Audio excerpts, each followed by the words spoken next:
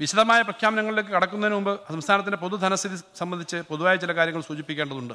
ഭരണഘടനയുടെ ഫെഡറൽ തത്വങ്ങൾ ലംഘിച്ചുകൊണ്ട് കേന്ദ്രം നടത്തുന്ന അമിതമായ വിഭവ കേന്ദ്രീകരണവും കേരളത്തോട് കാണിക്കുന്ന വിവേചനവും ധനഞ്ഞെരുക്കത്തിന് കാരണമാകുന്നുവെന്ന് ഈ സഭയിൽ തന്നെ ബഹുമാനപ്പെട്ട മുഖ്യമന്ത്രിയും ധനമന്ത്രി എന്ന നിലയിൽ ഞാനും ആവർത്തിച്ച് വ്യക്തമാക്കിയിട്ടുണ്ട്.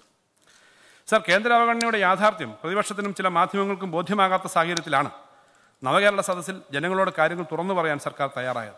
ഇപ്പോൾ കേന്ദ്രത്തിന്റെ ഭാഗത്തു നിന്നും ന്യായീകരിക്കാനാവാത്ത അവഗണന ഉണ്ട് എന്ന് എല്ലാവരും അംഗീകരിക്കുന്ന നിലയുണ്ട് സംസ്ഥാന സർക്കാരിനെ വിമർശിക്കുന്ന സാമ്പത്തിക വിദഗ്ധർ പോലും കേന്ദ്ര അവഗണനയുണ്ട് എന്ന് അംഗീകരിക്കുന്നു.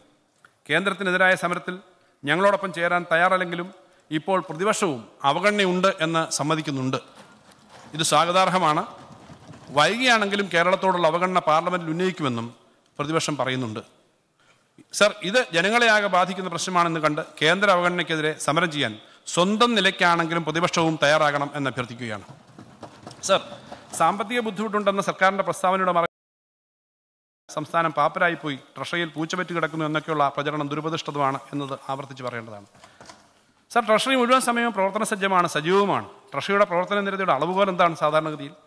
വരവും ചെലവും നല്ല രീതിയിൽ വർദ്ധിക്കുന്നുണ്ടോ എന്നല്ലേ നോക്കേണ്ടത്? വരവിലും ചെലവിലും എല്ലാ പൂർവകാല റെക്കോർഡുകളെയും തകർത്തുകൊണ്ടാണ് ട്രഷറി പ്രവർത്തിക്കുന്നത്. രണ്ടായിരത്തി ഇരുപത് ഇരുപത്തൊന്നിൽ സംസ്ഥാനത്തിന്റെ മൊത്തം ചെലവ് ഒരു ലക്ഷത്തി മുപ്പത്തി എണ്ണായിരത്തി എണ്ണൂറ്റി എൺപത്തിനാല് കോടി രൂപയായിരുന്നു. ഇരുപത്തിരണ്ട് ഇരുപത്തിമൂന്നിൽ അത് ഒരു ലക്ഷത്തി അമ്പത്തി എണ്ണായിരത്തി എഴുന്നൂറ്റി മുപ്പത്തെട്ട് കോടി രൂപയായി ഉയർന്നു. ഈ വർഷം അവസാനമാകുമ്പോഴേക്കും അത് ഒരു ലക്ഷത്തി അറുപത്തി എണ്ണായിരത്തി നാനൂറ്റിയേഴ് കോടി രൂപയായി ഉയരുമെന്ന് കണക്കാക്കുന്നു. ഏകദേശം മുപ്പതിനായിരം കോടി രൂപയുടെ വർധനവാണ് മൂന്ന് വർഷത്തിനിടയിൽ ഉണ്ടായിരിക്കുന്നത്. ന്യായമായ ഒരു ചെലവും വെട്ടിക്കുറയ്ക്കാൻ സർക്കാർ തയ്യാറായിട്ടില്ല. വികസനക്ഷേമ ചെലവുകൾ നടത്താതിരുന്നാൽ ഒരു ധനപ്രതിസന്ധിയും ഉണ്ടാകില്ല. അങ്ങനെയാണ് പല സംസ്ഥാനങ്ങളും ചെയ്യുന്നത്. കേരള സർക്കാരിന്റെ സമീപനം ചെലവ് ഉത്തരവാദിത്തങ്ങളിൽ നിന്നും ഒളിച്ചോടലല്ല സർ. സർ ഇത് പറയുമ്പോൾ സർക്കാർ പണം ദൂർത്തടിക്കുകയാണെന്നും എന്നുള്ള വിമർശനം ഉന്നയിക്കുവാൻ പ്രതിപക്ഷം തയ്യാറായേക്കും ഞങ്ങൾ ഇക്കാര്യത്തിലുള്ള ഒരു തുറന്ന ചർച്ചയ്ക്ക് തയ്യാറാണ്. മന്ത്രിമാരുടെ എണ്ണം ചെലവ് വിദേശയാത്ര എന്നിവയെല്ലാം യു ഡി എഫ് കാലവുമായോ മറ്റ് സംസ്ഥാനങ്ങളുമായോ താരതമ്യം താരതമ്യം ചെയ്ത് നമുക്ക് പരിശോധിക്കാം. അത്തരം ആരോപണങ്ങൾക്കൊന്നും യാതൊരു അടിസ്ഥാനവുമില്ല എന്ന് മാത്രമേ പറയുന്നുള്ളൂ. റിസർവ് ബാങ്ക് റിപ്പോർട്ടുകൾ തന്നെ കേരളം ധനരജീകരണത്തിന്റെ പാതയിലാണെന്നും റവന്യൂ കമ്മിയും ധനക്കമ്മിയും കടവും കുറച്ചുകൊണ്ടിരുന്നതിൽ വിജയിച്ചു എന്നും ചൂണ്ടിക്കാണിച്ചിട്ടുണ്ട്. അക്കൗണ്ടൻ ജനറലിന്റെ കണക്കുകളും ഇത് സാക്ഷ്യപ്പെടുത്തുന്നു. ഇനി നികുതി നികുതിയേതര വരവിലേക്ക് വന്നാലോ? മുൻകാല റെക്കോർഡുകളെ ഭേദിക്കുന്ന തനത് വരുമാന വളർച്ചയാണ് സംസ്ഥാനത്ത് ഉണ്ടാകുന്നത് രണ്ടായിരത്തി ഇരുപത് ഇരുപത്തൊന്നിൽ നമ്മുടെ തനത് നികുതി വരുമാനം നാൽപ്പത്തി ഏഴായിരത്തി അറുന്നൂറ്റി അറുപത്തൊന്ന് കോടി രൂപയാണ്.